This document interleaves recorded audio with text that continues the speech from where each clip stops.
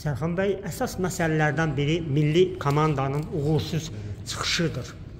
Artıq futbol ictimaiyyəti də, azarkeşlərin əksəriyyəti də Affaya qarşı sərt tənqidlərə başlayıblar.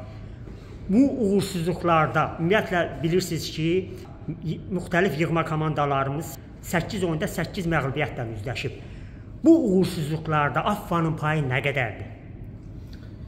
Əlbəttə ki, e, sözü gedən məsələdə e, uğursuz nəticələr, e, necə ki, azarkeşləri, futbol ictimaiyyətini və ümumiyyətlə ictimaiyyəti narahat edir. Əlbəttə ki, bizi də futbol federasiyası olaraq narahat edir və biz çalışırıq ki, bu yöndə müəyyən bir işlər görülsün ki, gələcəkdə nəticələr müsbətə doğru keç keçsin, getsin. Əlbəttə ki, artıq qeyd olunduğu kimi müəyyən bir strategiya üzərində AFAN-ın müəyyən bir strategiyasının yaradılması üzərində iş gedir və e, bu belə bir məsələdir ki, bir aya, bir ilə, iki ilə hər hansısa ə, nəticə əldə etmək çətindir. Müəyyən bir planlı şəkildə iş ə, aparılmalıdır. Ələxüsus da ki, uşaq uşaq ə, və gənclər və o işlərin aparılması da ə, bir ilin, iki ilin,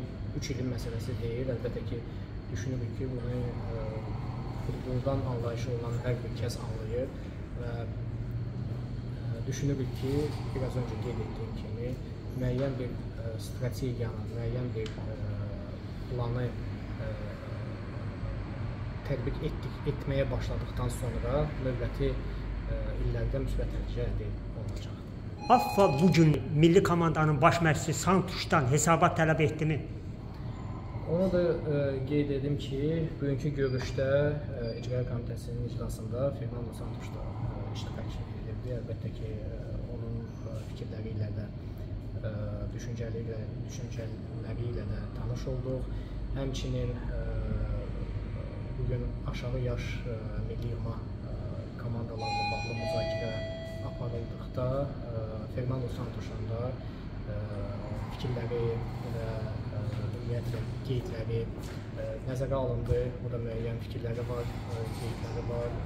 Həm uşaq futbolu ilə bağlı, gənclər futbolu ilə bağlı, milli yığma komandalarla bağlı, hansılar ki, hal-hazırda nəzərə alınıb və əlbəttə ki, biraz öncə qeyd etdiyimiz kimi strategiyamızın yazılmasında da onun da qeydləri nəzərə alınacaq. Tənqidləri normal qəbul edirsiniz? Tənqidlərə düşünürəm ki, hər birimiz e, normal yanaşmalıyıq və e, yanaşırıq. Əlbəttə ki, tənqid sağlam olduğu təqdirdə və o tənqid e, müəyyən sərhədi keçmədiyi təqdirdə əlbəttə ki, normal yanaşmalıyıq hər birimiz tənqidə. AFFA-nın büdcəsi necə artırılacaqmı, azalacaqmı? Bununla bağlı nə məlumat var? Bu dəqiqə bununla bağlı məlumat verə bilmərəm. 就是就是就是